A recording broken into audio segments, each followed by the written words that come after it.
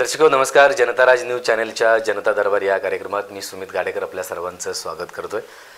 दर्शको आपल्या आयुष्यात पुस्तकांचं महत्त्व अत्यंत आहे. आणि आपण पाहतोय की माणसाच्या आयुष्यामध्ये पुस्तकं एक मित्र म्हणून काम करत असतं आणि हजारो मित्रांपेक्षा एक पुस्तक बरं असंही बोललं जातं. खरं तर लेखक कवी ते लिहित असतात आणि त्यांना वाटत असतं की आपली लेखणी ही पुस्तकात कैद व्हावी. म्हणून प्रत्येकांच्या आयुष्यात पुस्तक प्रकाशनाचा एक अत्यंत महत्त्वाचा रोल आहे. तर यासाठी आणि याविषयीच आपण आज अधिक माहिती जाणून घेणार आहोत. औरंगाबादचे विद्या बुक पब्लिकेशनचे सर्वे सर्वा शशिकांत पिंपळकर सरांना आज आपण- पिंपळापुरे. सरांना आज आपण भेटणार आहोत. सर आपलं खूप खूप स्वागत आहे. खरं तर पुस्तक प्रकाशन हे अत्यंत महत्त्वाची एक भूमिका आहे. आपण पाहतोय लेखक असतील कवी असतील ते आपापल्या पद्धतीने लिहित असतात. पण त्यांना कुठेतरी वाटत असतं की आपण जे लिहितोय ते पुस्तक स्वरूपात वाचकांपर्यंत पोहोचावं. तर एकंदरीत लिहिण्यापासून ते पुस्तक पब्लिश होईपर्यंत या सगळ्या गोष्टी एक एक प्रक्रिया आहे. त्या प्रक्रियेविषयी आपण अत्यंत जाणून घेणार आहोत. सुरुवातीला मला हा तुमचा प्रश्न असा असणार आहे की तुम्ही पुस्तक प्रकाशनाकडे कसे वळालात? काय सांगाल याबद्दल? मी बेसिकली माझी थोडी ओळख सांगतो. मी पोस्ट ग्रॅज्युएट कॉमर्स झालेलो आहे. मी नाईन्टी थ्रीमध्ये डी बी एम झालो एम कॉम आणि डी बी एम झालो. त्याच्यानंतर माझे ऑलरेडी वडिलांचं चाळीस वर्षापासून औरंगाबाद दुकान होतं. वडिलांचा आग्रह होताच की आता कॉलेज बस झालं. तुम्ही इथं बिझनेसमध्ये या. बर. माझा थोडा इंटरेस्ट नव्हता पहिले. मला ऍडव्हर्टायझिंगमध्ये जायची फार इंटरेस्ट पण समाव घे म्हणजे वडिलांनी मग तू थोड्या वेळ ये असं कर असं करत मग मी यायला लागलो. आणि मग ते नाईन्टी थ्री पासून हळूहळू हळूहळू मग मी फक्त संध्याकाळी जात होतो. मला खेळाचा फार वाद होता. मी फार क्रिकेट प्रेमी तर म्हणजे मला क्रिकेट सोडून कधी जावं वाटत नव्हतं. मी क्रिकेट खेळल्यानंतर ते वडिलांनी मला अगदी त्याच्यातही उतरवलं की तू क्रिकेट खेळून झाल्यानंतर येऊ हा. तर असं करून मग मी नाईन्टी थ्री पासून दुकानात जायला लागलो हळू. म्हणजे अगदी अर्धा वेळेत जात होतो. हे जात होतो. मग हळूहळू हळू करत मग सगळं कळायला लागलं. ते कसं समजायला लागलं काय समजायला लागलं काय आहे काय पुस्तकाचं हे असतं काय असतं काय नसतं. ऍक्च्युली पब्लिकेशन आमचं स्वतःचं एक पुस्तकाचं दुकान पण आहे मोठं. ते चाळीस वर्षापासून जवळपास नाईन्टी सेवन्टी सिक्सपासून केलेलं आहे सर. आणि आमच्याकडे आम्ही अगदी सगळ्या तऱ्हेचे पुस्तकं म्हणजे इंजिनिअरिंग मेडिकल झालं जनरल पुस्तकं झालं सगळे टेक्स्ट पुस्तकं सगळं सायन्स आर्ट्स कॉमर्स सगळ्या तऱ्हेची पुस्तकं आम्ही आमच्याकडे ठेवत होतो. आता एवढं सगळ्याची माहिती इतक्या लवकर तर होत नसते तुम्हाला. हळूहळू हळूहळू करत मग ती पण माहिती हळूहळू होत गेली. आणि आमचं प्रकाशन कसं आहे पहिले माझे काका आहेत एक ते नागपूरला असतात पिंपळापर्यंत पब्लिकेशन म्हणून. तर माझ्याकडे पूर्ण बॅकग्राऊंड आमचा तसा पब्लिकेशन आणि पुस्तकाचा बॅकग्राऊंड आमचा पहिल्यापासूनच आहे. माझे काका हे एक आमेय प्रकाशन नावाने फार पूर्वी म्हणजे सेव्हन्टीज एटीजमध्ये त्यांनी आता तुम्हाला आपल्याला भालचंद्र नेवाडे तुम्हाला नाव होतं भालचंद्र नेवाडेंचं बिडार हे आम्ही काढलं होतं. कवी ग्रेस हा. कवी ग्रेस यांचं ते आमच्या काकांचे खास मित्र होते. हां. तर विडार हे आम्ही काढलेलं होतं. मोठ्या मोठ्या साहित्यिक लोकांची पुस्तकं माझ्याकडे काकांनी काढली होती. बर. तर ते साहित्यिक पुस्तकं पहिले फक्त काका साहित्यिक पुस्तकं काढत होते. पण काळांतराने काय झालं की काकांच्या लक्षात आलं की हे साहित्यिक पुस्तकामध्ये तेवढी काही कमाई नाही आहे. तर मग आपण हे साहित्यिक पुस्तकाच्या ऐवजी आपण म्हणजे व्यावहारिक दृष्टिकोनातून हा व्यावहारिक दृष्टिकोनातून थोडस. मग काकांनी विचार केला की आपण टेक्स्ट पुस्तकामध्ये. वळवू. मग काकांनी तिथून टेक्स्ट पुस्तकाकडे वळलो. तोपर्यंत वडील वगैरे सगळे आम्ही नागपूरलाच राहत होतो. म्हणजे माझ्या अगदी तीन चार वर्षापर्यंत होतं. पण मग नंतर युनिव्हर्सिटी औरंगाबादमधली युनिव्हर्सिटी झाल्यानंतर वडील वगैरे टुरिंग करत असत. म्हणजे औरंगाबादला महिन्या दोन तीनदा येत होतं. मग ते काकांच्या आणि वडिलांच्या लक्षात आलं की इथे दरवेळेस जाऊन इथे जर राहिलंच तर आपल्याला तिथे येऊ शकेल. मग वडिलांनी डिसिजन घेतलं की नागपूर सोडून औरंगाबादमध्येच यायचं. बर बर. मग आम्ही नाईन्टीन सेवन्टी सिक्समध्ये औरंगाबादला शिफ्ट झालो हम्म. आणि औरंगाबादला आल्यावर मग तिथे दुकान भाड्याने हे केलं. मग पहिले मार्केट कसं काय आहे इथे काय चालतं काय नाही याचं थोडस जरा सगळ्या वडिलांनी घेतलं. हा मग ते वडिलांना इतक्या लवकर ते क्लिक झालं सगळं. तर त्यामुळे मग सगळ्या तऱ्हेची पुस्तकं ठेव हे ठेव त्याच्या ठेव. आणि मग तशा तऱ्हेने आमचं पुस्तक विक्रेता म्हणून एक तिथे आमचा इतका जम बसला अच्छा. की म्हणजे आता तुम्हाला अतिशयोक्ती वाटेल तुम्हाला की आमच्याकडे गव्हर्नमेंट मेडिकल कॉलेज आहे. तिथे आता जे झालेले रिनॉन डॉक्टर आहेत ते म्हणतात की आम्ही विद्याभूषी पुस्तकं वाचून आम्ही एमडी झालेलो मेडिकलची वगैरे पुस्तकं ठेवत होतो. त्यामुळे लोकांच्या ओळखी खूप होत गेल्या तिथे. आणि वडिलांचे कसे आम्ही कॉलेजेसला सप्लाय करतो. मेनली मराठवाड्यातल्या सगळ्या साती डिस्ट्रिक्टला म्हणजे नांदेड लातूर परभणी बीड. सगळ्या डिस्ट्रिक्टच्या प्रत्येक कॉलेजला आम्ही पुस्तकं सप्लाय करतो. अजूनही मी करतोय ते. तर त्याच्यामुळे संस्था चालकांशी संबंध प्राध्यापकाशी संबंध साहित्यिकाशी संबंध तर पूर्वीपासून होतेच त्याच्यामुळे. तर त्यामुळे नेटवर्क वाढत गेलं. नेटवर्क वाढत गेलं आणि मग लक्षात आलं की मग काकांनी जे आम्ही पहिले फक्त काका तिकडून प्रोडक्शन काढत होते आणि आम्ही इकडे विक्री करत होतो. मग आम्हाला लक्षात आलं की तिकडची युनिव्हर्सिटी वेगळी होती नागपूर आणि अमरावतीची. तर मग काकांनी डिसिजन असं घेतलं की तुम्ही तिकडे काय अमरावती आणि नागपूरचे तुम्ही काढा. मग आम्ही नांदेड म्हणजे औरंगाबाद विद्यापीठाचे पुस्तकं तुम्हाला मी काढून देईल प्रोडक्शन करून देईल आणि तुम्ही विका तसं. पहिले आम्ही मग तसं केलं. की काका काढून देत होते नागपूरहून आणि आम्ही विकत होतो औरंगाबादच्या युनिव्हर्सिटीमध्ये पण मग नंतर आम्हाला लक्षात आलं की ते काकांना तिकडचंही बघा आणि इकडचंही बघा हे फार जास्ती होत होतं. मग ते आम्ही डिसिजन असं घेतलं की म्हणजे मी तोपर्यंत जॉईन झालो होतो मग ते पब्लिकेशनचं डे वन पासूनचं सगळं काम मीच बघतो पूर्ण. त्याच्यामध्ये. मग पब्लिकेशनचं सगळं काम औरंगाबादमध्ये त्या काळामध्ये प्रिंटिंग तशी चांगली होत नव्हती. तर मग मी काय करायचो पुण्यामध्ये जवळपास लिटरली पंधरा पंधरा वीस वीस देऊन तिथे राहत होतो आणि जसं गव्हर्नमेंट सर्व्हिसमध्ये लोक असतात ना दहा ते पाच तसं त्या प्रिंटिंग प्रेसमध्ये मी लिटरली दहा ते पाच जाऊन बसत होतो की आपलं पुस्तक पुणेकर मंडळी कधी आपल्या वेळेवर देत नसतात. तर त्यामुळे त्या प्रिंटिंग प्रेसवाल्याच्या डोक्यावर बसायचं आपल्याला वेळेत पुस्तक द्या म्हणून तिथे बसून त्याच्याकडून ते प्रिंटिंग सगळं करून घ्यायचं आणि पंधरा वीस दिवसानंतर मग परत यायचं आणि मग वडील मग सगळं मार्केटिंग करत होते. असं आमचं माझं पब्लिकेशनचा प्रवास चालू झाला. हळूहळू करता पहिले कमी पुस्तकं होते मग हळू हळूहळू वाढत मग लक्षात यायला लागलं मलाही लक्षात यायला लागलं की कशा तऱ्हेचं पुस्तकं काय करायला पाहिजे काय आयडिया येऊ लागले तुम्हाला काय असेल ते असेल. कशा पद्धतीने काय केलं काय होऊ शकतं? त्याच्यानंतर मग मी पूर्णपणे जसा देवापासून आलो म्हणजे मग वडील टुरिंग करायचे मग मी पब्लिकेशनचं हे करत होतो. मग वडिलांनी हळूहळू मला अं, त्या टुरिंगमध्ये कॉलेजचे संबंध माझे भाव बरं हा. म्हणून मग मग वडिलांनी- ओळख व्हावी सगळ्या हा, सोबत ओळख व्हावी म्हणून मग सोबत घेऊन फिरायला लागले असं काय असेल वडिलांना ते. वडिलांनी पूर्ण सगळ्या कॉलेजेसला प्रत्येक जसं ते टूरवर जात होते. प्रत्येक कॉलेजला मला घेऊन जात होते. तर मग त्यामुळे माझ्या सुद्धा ओळखी सगळ्या संस्था चालकापासूनच्या सगळ्या ओळखी झाल्या हे झाल्या तिथे हे झाल्या सगळ्या. आणि मग माझ्याही लक्षात यायला लागलं की हा बिझनेस कशाच तऱ्हेचा आहे काय आहे. त्याच्यामुळे सगळे बारकावे तुम्हाला सगळे. बारकावे लक्षात आहे. हे सगळं होत असताना तुम्ही हा तुमचा प्रवास अगदी रंजक आहेच आहे. टेक्स्ट बुक पब्लिकेशन असेल आणि त्याचबरोबर साहित्यिक जे पुस्तकं आहेत पब्लिश होतात दोन्हीमध्ये काय फरक आहे? म्हणजे काय तुम्हाला सांगतो.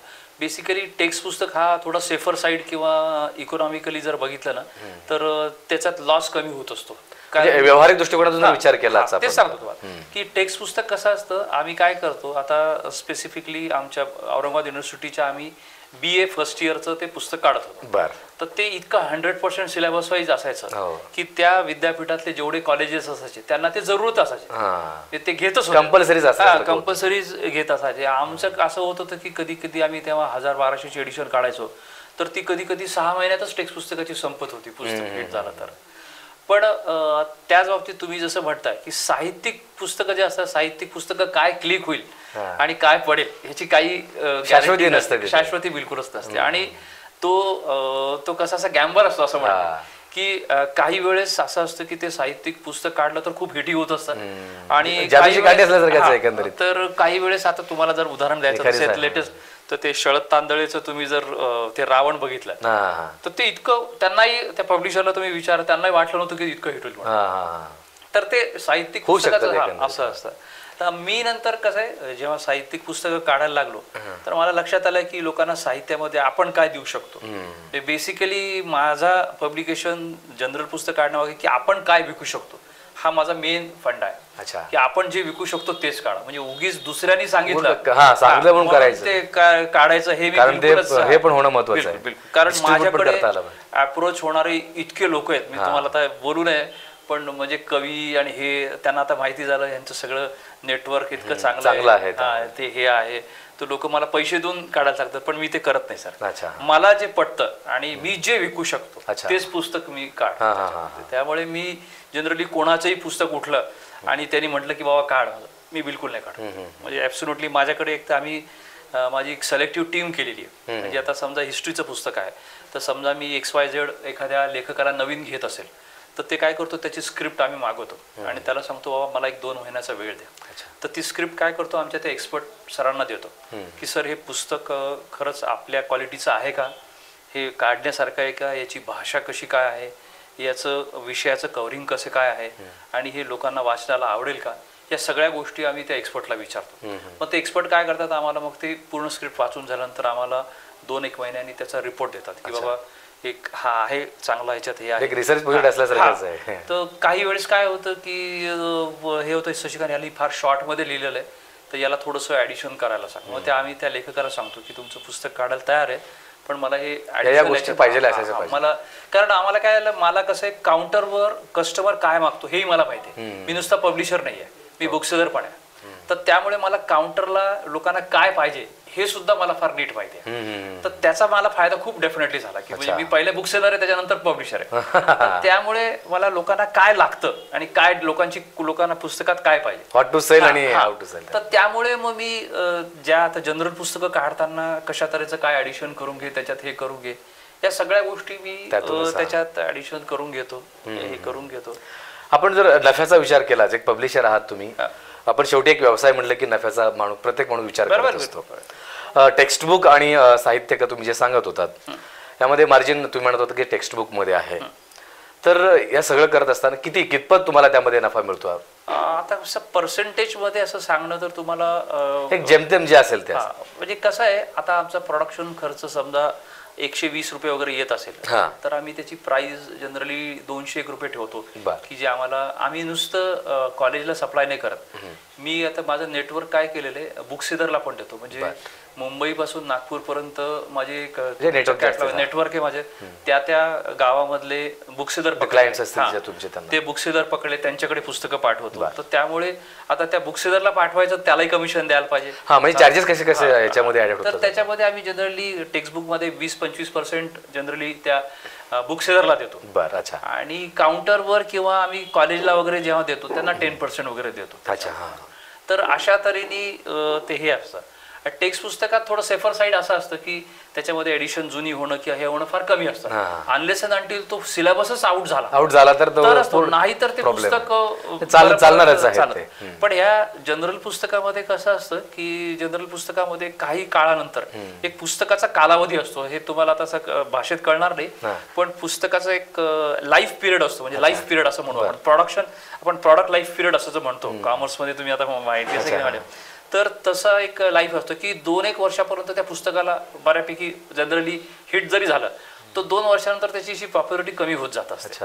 तर त्यामुळे तुम्ही त्या पिरियडमध्ये त्या पुस्तकाचं काय काय करता तुम्ही प्रमोशन वर्क कसं करता काय करता याच्यावर ते बेसिकली हे एक नवीन माहिती मिळाली याच्यातून मला. म्हणजे पुस्तकांना देखील आयुष्य आहे. बिलकुल. काय असं की तुम्हाला जर वाटलं की पुस्तक काढलं आणि ते जाईल तुम्ही त्या पुस्तकाचं प्रमोशन वर्क आणि हे. जर नाही केलं तर ते पुस्तक लोकांपर्यंत जात.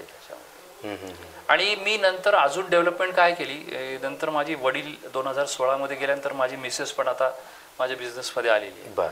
माझी मिसेस जी आहे ती स्वतः आय टी मधली आहे सर. ती म्हणजे तिला सॉफ्टवेअर डेव्हलपमेंट वगैरे येतात.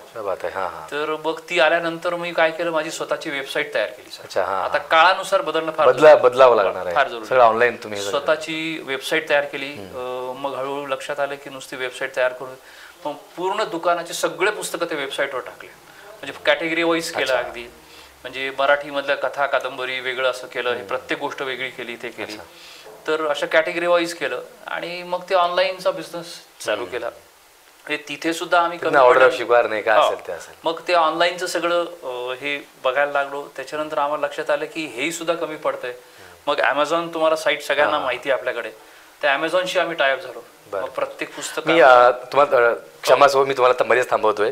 कारण हा मुद्दा सुटू नये म्हणून मी अ, या मुद्द्याकडे तुम्हाला घेऊन जातो. पुस्तकांचं आयुष्य असतं. ठीक आहे. तर एखाद्या पुस्तकाची लाईफ जर आपल्याला वाढवायची असेल. तर त्याला आपण एडिशन असं म्हणतो की दुसरं आवृत्ती आवृत्ती असेल.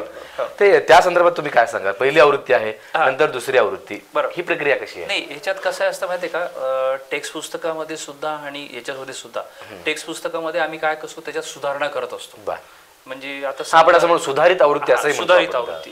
तर त्याच्यामध्ये आम्ही टेक्स्ट पुस्तकामध्ये जसं एक उदाहरण म्हणून सांगतो तुम्हाला. आंतरराष्ट्रीय संबंधाचं मी पुस्तक काढलेलं आहे. शैलेंद्र देवळांकर म्हणून फार हो फार फेमस आहेत ते. आंतरराष्ट्रीय संबंधांवरती जे जास्त त्यांचे ते एक्सपर्ट येतो त्यांचं स्टार न्यूजवर हो, वाचत. असाल. नक्कीच. तर त्याचं जे पुस्तक आहे ते आम्ही दरवर्षी Update करत. रिवाईज करत गेलो. त्यांनी नवीन नवीन गोष्टी ऍड करत गेल्या. तर त्याच्यामुळे काय झालं आमची त्या पुस्तकाची लाईफ इतकी वाढत गेली. म्हणजे आज आणि इंटरेस्टिंग पण होत गेली हो, सहा एडिशन त्याच्या मी काढलेले. क्या बात आहे. म्हणजे ते मी पहिल्यांदा काढलं होतं मला आठवतं दोन हजार सहा सहा नाही. सात सात की आठमध्ये काढलं होतं. आणि. अजूनपर्यंत आज किती चोवीस चालू आहे. अजूनपर्यंत ट्रिमंडस क्या बात आहे. तर ते आम्ही रिवाईज करत गेलो. त्याच्यामुळे लोकांना हे झालं. त्याच्यामध्ये आम्ही आमचे पब्लिकेशन जे आम्ही कव्हर चेंज करत राहतो लोकांना पण हे आवृत्ती जी आहे ना. त्या कोणत्या पुस्तकांना जास्त लागू होऊ शकते? किंवा ज्या पुस्तकांना आवृत्ती निघू शकते असं काय? नाही त्याच्यात माहिती? का? की टेक्स्ट पुस्तकाचं तर सिलेबस जसा चेंज झाला मी तुम्हाला सांगितलं हो. की सिलेबस जसा चेंज झाला तर मग त्याच्यातल्या त्या नवीन गोष्टी पण त्याच्यात टाकायच्या. आणि ज्या घडलेल्या गोष्टी. म्हणजे आंतरराष्ट्रीय संबंधामध्ये तुम्हाला आता उदाहरण म्हणून रशियाचे आपले संबंध खूप खराब होते तर चांगले झाले. अमेरिकेशी हे दोन्ही दोन्ही गोष्टी दाखवा लागतात तर ते ते त्याच्यात ऍड केलं. मग आपण लोकांना सांगताना सांगतात आम्ही हे नवीन ऍड केले. हा, हा. तर मग जुना माणूस सुद्धा ते नवीन पुस्तक घेतो. बर बर. तर त्यामुळे अं, अशा तऱ्हेचं त्याला केलं तर त्याची लाईफ अजून वाढते. पण तुम्ही हे कादंबरीच्या किंवा ह्या बाबतीत जर बघा हा मी त्या संदर्भातच ऍक्च्युली विचारणार होतो. तर ते कसं आहे त्याला त्याच्यामध्ये ऍडिशन करता येत नसतं. कादंबरी ही एकदा मर्यादा पूर्ण एकदा बाहेर पडली किंवा आली तर जन्माला त्याच्यानंतर अं, त्याच्या प्रमोशन करता मग तुम्ही त्याच्यावरचं डिस्काउंट द्या. किंवा मग असा आम्ही आजकाल काय करतोय सर नवीन त्या लेखकाचा फेसबुकवर किंवा आम्ही डिजिटल मार्केटिंग खूप जोरात करतो सर आजकाल. हे त्याची केलेले कुठेतरी भाषण असतं. हा म्हणजे साहित्य जे कादंबरी आहेत नाटकं आहेत यांना मात्र आवृत्तीच्या वेळेस थोडेसे प्रॉब्लेम्स येऊ शकतात. तर त्यामुळे त्या लेखकाने कुठे भाषण केलं असेल त्या पद्धतीने त्याचं ते आम्ही ते आम्ही डिजिटल आमच्या वेबसाईटवर टाकतो की हे इथे गेले होते ते गेले होते. तशा करून तसं त्याचं प्रमोशन वर्क आम्ही करतो आपण आता मार्केटिंगकडे येऊयात. खरं तर आपण पाहतोय डिजिटल मार्केटिंग आहे. आधी तुम्ही जे मार्केटिंग करायचो तुम्हाला तिथे जावं लागायचं. प्रत्यक्षात व्हिजिट तुम्हाला द्यावं लागायचं. आता ऑनलाईन एका क्लिक वरती ऑर्डर होऊ शकते. तुम्ही होम डिलिव्हरी देऊ शकता. हो. सगळा प्रवास तुम्ही सगळं पाहिलेलं आहे. बिलकुल. आधीचा आणि आत्ताचाही. कसं वाटतं तुम्हाला? नाही आता कसं आहे माहिती का? आम्ही पहिले काय करत होतो? पहिले जेव्हा अं, म्हणजे ऑनलाईनचं काहीच. नव्हतं. तेव्हा ऍक्च्युली आमचे म्हणजे जसं माझं आता पुस्तकाचं दुकान नाईन्टीन सेव्हन्टी सिक्सपासून आहे. तर आमचे पब्लिक रिलेशनच तिथे इतके चांगले आहेत औरंगाबादमध्ये की ते नवीन पुस्तक आलं की अरे विद्यापुस्तकडे जा. तर आता आणि आमच्याकडे असे कस्टमर आम्हाला इतके माहीत झाले होते. की आता कस्टमर बघून अरे हे याच्या आवडीचं पुस्तक आहे. तर ते आमच्या-. त्यांचं इंटरेस्ट आम्हाला इतके माहिती होते. तर आम्ही त्यांच्यासमोर हे सर नवीन आलेलं पुस्तक आहे. आणि ते आता कसं आहे आमचा फेथ ऑफ हे इतकं जुळलेला होता की ते आमच्या विचार नवीन पुस्तकं ते आमच्या कहण्यावर घेत होते. त्यांचे फोनही आमच्याकडे येत असे सर नवीन काय आलेलं आहे ते आलेलं आहे. तर हा फेथ असायचा त्याच्यामुळे ते आल व्हिजिट आल्यानंतर त्यांना डायरेक्ट कॉन्टॅक्ट व्हायचं हो हा. बिलकुल. पण आता काय झालं की करोना नंतर स्पेसिफिकली मी तुम्हाला जर सांगेल की वॉकिंग कस्टमरच आमच्याकडचा कमी झाला फार. हो. सगळीकडचा. म्हणजे मी आता पुण्यामध्ये फिरतो कोल्हापूरमध्ये जातो सगळीकडे जातो. लोकांचा वॉकिंग कस्टमरच कमी झाले म्हणजे माझ्याकडे पूर्वी पन्नास वॉकिंग कस्टमर येत होता. वॉकिंग कस्टमर्स म्हणजे? वॉकिंग कस्टमर म्हणजे येणार म्हणजे visit करणारा. डायरेक्ट येणार. तो कस्टमरच कमी झालाय. म्हणजे पन्नासून माझ्याकडे आता पूर्ण माझं दुकान सकाळी साडेनऊ ते रात्री नऊ वाजेपर्यंत उघडं असतं. यावेळेस फक्त पंचवीस एक येतो आणि त्याच्यातले चार किंवा पाच घेत होतो. काय कारण असू शकतं? काय? ह्याला ऑनलाईन विक्री लोकांचं हे ऑनलाईन सुविधा. असताना का जायचं आपण? काय झालेलं आहे? आता मुंबई पुण्यासारख्या ठिकाणी किंवा शहर जस जसे मोठे होत. चालले तर लोकांना काय वाटतं? आता ते आम्ही मी पुण्यामधलं जर तुम्ही बघाल तर तुम्ही तिथे कोथरूडमध्ये राहणाऱ्या एखाद्या माणसाला विचारा की तुम्ही गंमत म्हणून सांगा. तुम्ही आप्पा वळवून चौकात पुस्तक घ्यायला गेला तर तो काय सांगेल बाबा. माहितीये का तुम्हाला? दहा वर्षापासून वळवून चौकात गेलो नाही. हे तुम्हाला सांगेल. तुम्हाला शॉक. वाटेल. माझे आता तिथे भाऊ आहे हे. दहा वर्षापासून जात नाही बापरे. मग पुस्तक कुठून मागवतो? पुस्तकाचा तो फार हे. तर म्हणे ऑनलाईन केलं की. माझ्या घरपोच येऊन जातं मला तिथे जावं लागत ते तर त्यामुळे हा एक प्रकार झालाय. मग आम्ही काळानुसार अजून कसं बदललो? एक तर हे केलं. आता आम्ही करोना नंतर काय केलं? की अमेझॉनशी टाईप झालेलं आहे. म्हणजे अमेझॉनचं मी प्राईम सेलर वगैरे आहे. बरं बरं. अमेझॉन वरून जे तुम्हाला पुस्तकं येतात तर खालती तुम्ही जर बघाल तर त्याच्यावर तुम्हाला विद्या बुक्स पब्लिशर दिसेल. येतात हो. तर आणि मग आम्ही औरंगाबादच्या औरंगाबादमध्ये एक अजून एक सर्व्हिस केली आहे. आता आमच्याकडे औरंगाबाद खूप मोठं झालेलं आहे. तर तिथे काही लोकांना म्हातारे लोक असतात किंवा एखाद्यांना खूप बिझी असतात त्यांना येणं. तर आम्ही काय केलं डोअर डिलिव्हरी द्यायला चालू क्या बात आहे तुम्ही Order करा. व्हॉट्सअपवर व्हॉट्सअपवरून पुस्तकाचं नाव द्यायचं. तर पुस्तक पाहिजे ऍड्रेस कंप्लीट द्यायचा. दुसऱ्या दिवशी पण तुमच्या घरात द्यायचं त्यांनी तिथे पैसे देऊन टाका कॅश ऑन डिलिव्हरी काय असेल काय तर ते लोक इतके खुश आहेत आमच्याकडे आमच्याकडे ते काही स्पेसिफिक गिराईक आहेत. ते तर आम्हाला खास स्पेसिफिक सांगतात की आम्हाला इतकी चांगली सर्व्हिस की आम्हाला येणं होत बाबा तुझ्याकडे. तर त्याच्यामुळे आता काळानुसार हे आम्हाला करणं जरुरी. एक पब्लिशर म्हणून तुम्ही लेखकांकडे कसे बघता? कसा असावा लेखक? मी आता लेखकाकडे पब्लिशर म्हणून बेसिकली आजकाल काय झालेलं आहे माहितीये का? मी थोडं टेक्स्ट पुस्तकाचं पहिले सांगेल तुम्हाला. आजकाल काय? पाट्या टाकणारे लेखक फार जास्ती झालेले. मी अगदी त्या म्हणजे पाट्या म्हणजे इथं पण आहेत म्हणजे काय की उगीच काहीतरी सांगितलं म्हणून लिहून देणं हा प्रकार फार तिथे आहे. तर पण मी ना मी स्वतः सगळं चेक करतो सर त्यामुळे माझ्याकडे चालत नाही सर म्हणजे मी एखाद्या मोठ्या लेखकाचं सुद्धा स्क्रिप्ट रिजेक्ट करू शकतो. इतकं माझं strict आहे सर. म्हणजे. काय की मला पाहिजे त्यांनी तसं जर कव्हरिंग करून नाही मी तर त्याला म्हणतो सर मी नाही मी काढू शकतो. मी बिलकुल वापस करतो. मी इतके वापस करतो. कारण लोकांना काय वाटतं की अरे ह्यानं पुस्तक काढतो तर आपण काही लिहून दिलं तर चालतं. पण तसं नसतं सर. काय कस्टमरला एंड कस्टमर आम्हाला माहिती असतो त्याला काय पाहिजे हा. मला माहिती असतं. आम्ही टेक्स्ट पुस्तक काढतो तर आता आम्ही कॉलेजेस कॉलेज फिरतो. त्यांना कंटेंट कव्हरिंग काय पाहिजे हे आम्हाला नीट माहिती असतं त्याच्यामध्ये. आणि ते कव्हरिंग जर नसेल तर तो माझं पुस्तक घेईल कशाला? नाही, बरोबर. तो म्हणेल की मला पुस्तक. तर म्हणून आम्ही लेखकाकडून लिहून घेताना मी सगळं चेक करतो. म्हणजे प्रूफ रिडिंग काय चेक करता तुम्ही त्यामध्ये? मी त्याच्यात आमचं काना माथारच्या चुका माझ्याकडे म्हणजे ग्रॅमॅटिकल मिस्टेक्स आहेत माझ्याकडे प्रॉपर. प्रोफेशनल प्रूफ रिडर आहे. मी त्याला पर पेज पैसे देतो. क्या बात आहे. प्रत्येक काना मात्रा अनुस्वार. पूर्ण बघतो. अच्छा. पूर्ण पुस्तक. लाईन बाय लाईन काय बिलकुल. अगदी word to word line by नाही वर्ड टू वर्ड इतकं चेक होतं आमच्याकडे त्याच्यानंतर ते परत डीटीपी वाल्याकडे जातं. आणि ते डीटीपी वाल्याकडून परत मग लेखकाकडे जातं. लेखकाकडे गेल्यानंतर लेखकाने जे असतं, करेल ते. म्हणजे ओरिजिनल त्याचं स्क्रिप्ट आणि जे आहे ते बघणार तो. ते त्यांनी लेखकाने सगळं बघून देतो. मी लेखकाला इन्स्ट्रक्शन्स देतो की बाबा ह्याच्यातलं स्पेलिंग मिस्टेक तुम्ही टाकलेले इयर. आता जनरली कसं असतं माहितीये का शिवाजी महाराजांवरचं पुस्तक आहे आंबेडकरांवरचं पुस्तक त्याच्यात थोडस जरी चुकलं तर ते आपल्या ऑब्जेक्शनेबल असतात वाद होऊ शकतात. वाद होऊ शकतात. तर त्यामुळे ह्या आम्ही लेखकाला स्पेसिफिक इन्स्ट्रक्शन लाल पेनल लिहून देतो. सर ह्या गोष्टी तुम्ही लिहून जरी झाला. असेल तर आमच्या डीटीपी वाल्याकडून किंवा हे तुम्ही. चेक करा. कारण ते याच्यात जर वाद झाला तर तुम्ही आणि मी दोघंही वादात अडकू आपण. मी म्हणून दरवेळेस लेखकाला इन्स्ट्रक्शन देत असतो की काही सुटलंय की नाही माझ्या डीटीपी वाल्याकडून सुटलंय की नाही. तर ते लेखकाला सांगतो.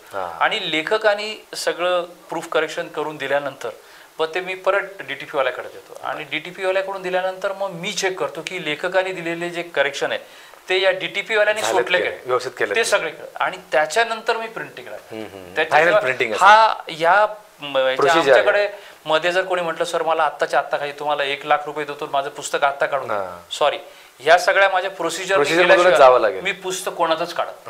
कोणाचं म्हणजे कोणाचंच पुस्तक काढत मी स्ट्रिक्टली या सगळ्या फॉर्मॅट जे आहेत बिलकुल ते केल्याशिवाय मी हे सगळं होत असताना आता आपण मुद्दा असा निघाला होता एखादं पुस्तक वादग्रस्त ठरू शकतं आणि ठरलेले पण आहेत. खूप आहेत खूप मग अशा वेळी लेखक जबाबदार आहे की प्रकाशक काय? दोघही जबाबदार आहेत तेवढंच. मी त्याला दोन्ही जबाबदार आहे. अच्छा. एक तर कसं असतं माहितीये का? आता त्याच्यात सणवारी असते की आता एखादा असं आंबेडकरांची जन्मतारीखच चुकली.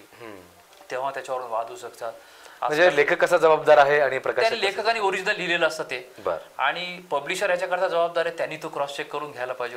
की यांनी बरोबर तुम्हाला मी म्हणजे आहे तसं. तुम्ही का घेतलं? क्रॉस चेक करायला पाहिजे. लेखक पाट्या टाकताना तुमची जबाबदारी आहे. प्रकाशक काय करता? हा. त्यांनी क्रॉस चेक. करायला पाहिजे. पब्लिशरही तेवढा जबाबदारी मी असे त्याला म्हणेल त्याच्या दोघे दोन्ही- जबाबदार बिलकुल क्रॉस चेक करूनच घ्यायला पाहिजे आणि दुसरीकडून व्हेरीफाय पण करून घ्यायला पाहिजे की हे बरोबर आहे की नाही त्याच्यामध्ये. क्या बात आहे. आणि ते जर नाही करून घेतं तुमच्या चांगलं ठेवू शकतं. हा हा हा. तर त्याच्यामुळे ते करूनच घ्यायला पाहिजे तुम्ही त्याच्यामध्ये. पण तरी कसं असतं माहिती काय की पुस्तक काढताना अगदी माणूस हा चुकीचा पुतळा आहे. त्याच्यामध्ये काय हो. ज्या गोष्टी. होतात तर आम्ही जनरली पुस्तक निघाल्यानंतर आमच्या वाचकांना किंवा प्राध्यापकांना सांगत असतो की तुम्ही त्याच्यात जर चुका निघाल्या तर त्या आम्हाला सांगा. आणि आम्ही काय करतो एखादं पुस्तक त्यांना देतो की बाबा तुम्ही याच्यातल्या चुका ज्या आहेत त्या आम्हाला रायटिंगमध्ये कळवा. आणि आम्ही ते पूर्ण रायटिंगमधला रेकॉर्ड ठेवतो. आणि त्याची जेव्हा दुसरी एडिशन काढतो तेव्हा आवर्जून त्या सगळ्या चुका छोट्या छोट्या चुका मी परत करेक्ट करतो आणि त्या माणसाला कळवतो पण सर. की सर तुम्ही दिलेलं त्यांचं थँक्स आणि आम्ही चुका आता दुरुस्त करतो. त्यात तुला असं सगळ्या गोष्टी करतो हे पण आम्ही फार फार केली आपण वेगळ्या विषयाकडे आता येऊयात. एखादा नवीन नौखा हा. लेखक असेल कवी असेल कुणीही मग त्याचा कविता संग्रह आहेत किंवा कथा संग्रह आहेत त्याला त्याचं एखादं पुस्तक त्याला पब्लिश करायचं असेल तो कधीच केलेला नाही याच्या आधी. बरोबर. त्याच्यासाठी तो त्याचं पुस्तक प्रकाशन व्हावं त्याला वाटत असेल. तर त्यांनी काय करावं? काय माहिती का? आजकाल मी थोडस जरा तुम्हाला वेगळ्या याच्यावर. आजकाल काय आहे, आमच्याकडे एक वर्ड आहे की दगड उचलला की कवी सापडतो म्हणून. ते एक असे प्रत्येकाला वाटत असतं आणि कोविडमध्ये तरी. घरोघरी आता काय. कवी झालेले काय झालेलं आहे? आजकाल कोणी मी कविता करू शकतो असं वाटतं. काय करू शकतं पण काय माहिती का? की लेखक नवा लेखक असतो किंवा कवी असतो किंवा त्यांनी ना थोडासा त्या विषयातल्या तज्ज्ञ माणसाकडून की बाबा हे मी लिहिलेलं बरोबर आहे का नाही? की. हे खरंच म्हणजे कसं असतं स्वतःनी लिहिलेलं सगळं स्वतःला चांगलं वाटत चांगलंच वाटत म्हणजे असतं. कोणी कोणी असलं तरी बाबा मी चांगलंच लिहिलेलं आहे असं वाटत असतं. तसं नसतं ते. तुम्ही त्या फील्डमधल्या जाणकार माणसाकडे साहित्यिकाकडे किंवा दुसऱ्या कोणातरी कडून की बाबा हे खरंच प्रकाशित होण्यासारखं आहे का बाबा? की खरंच आहे का नाही? की मी याच्यात काही सुधारणा करणार? हे त्यांनी पहिले सगळे व्हेरीफाय केलं. मार्गदर्शन घ्यावं मार्ग मार्गदर्शन घेतलं पाहिजे. मार्गदर्शन घेतलं नाही तर होतं काय माहिती का? आता जसं मी तुम्हाला मगाशी सांगितलं की माझ्याकडे अप्रोच होणारे इतके लोक. आहेत कोणी माझ्याकडे उठतं सर की सर मला पुस्तक पब्लिश करायचं आहे मी त्याला म्हणतो तू कुठल्या विषयावरचा लिहिलंय बाबा? तो सांगतो असं असं सर याच्यापूर्वी पुस्तक कधी लिहिलं का? नाही. तर तुला बाबा पुस्तक तुझं स्क्रिप्ट माझ्याकडे पाठवा लागेल. माझ्या एक्सपर्टनी जर हो म्हटलं तरच काढील नाही तर मी तुला वापस कर ते चालत असेल तर दे नाही तर मला देऊ नको. मी या शब्दात त्याला.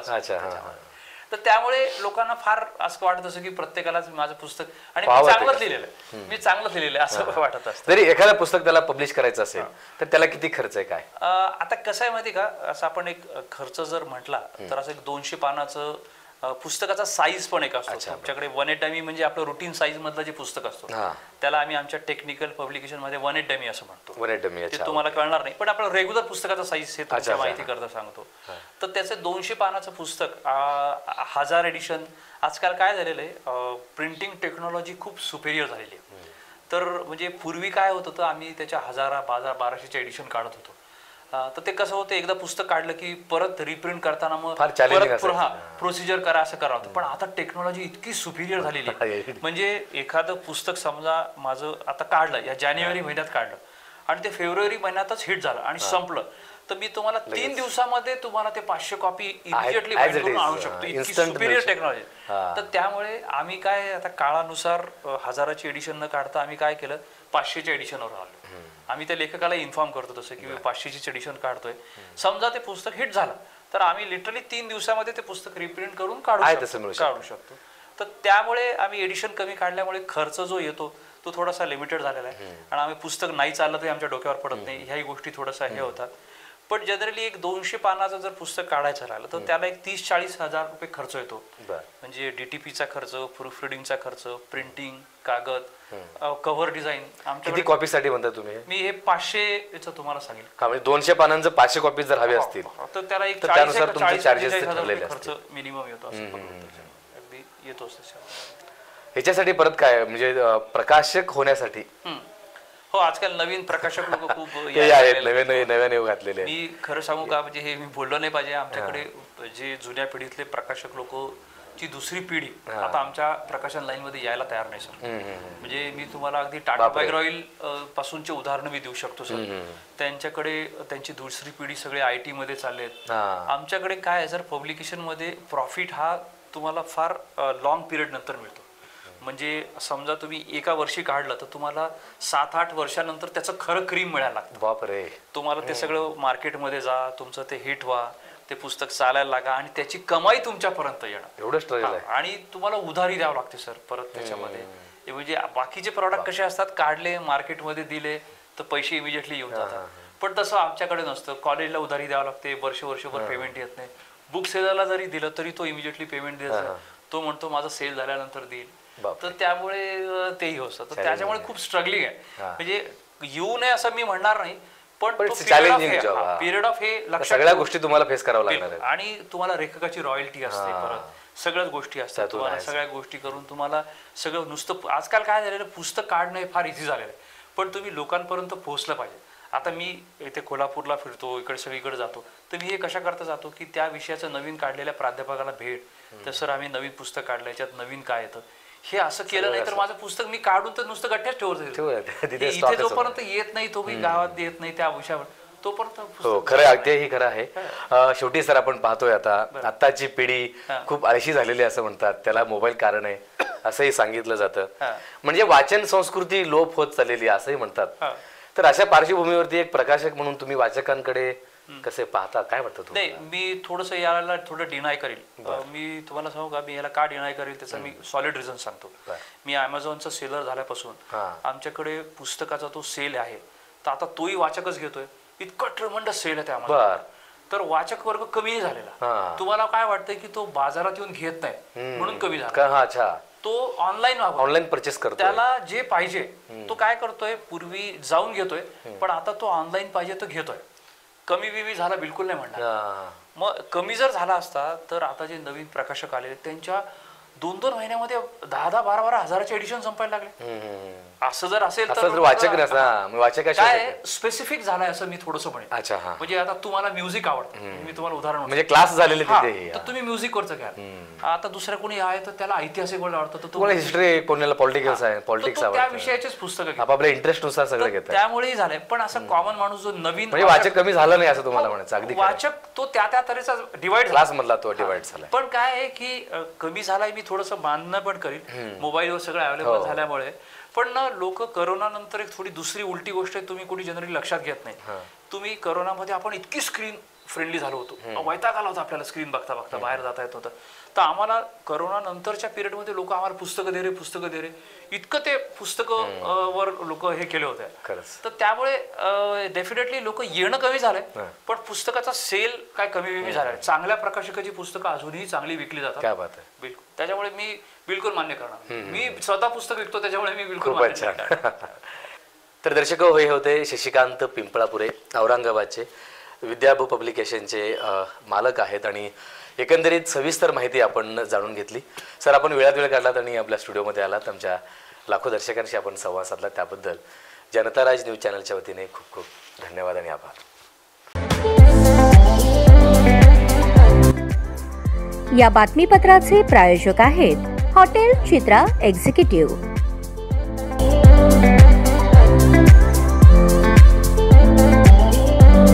अशाच नवनवीन अपडेटसाठी जनता राज्य न्यूज चॅनलला सबस्क्राईब करा लाईक करा आणि शेअर करायला विसरू नका.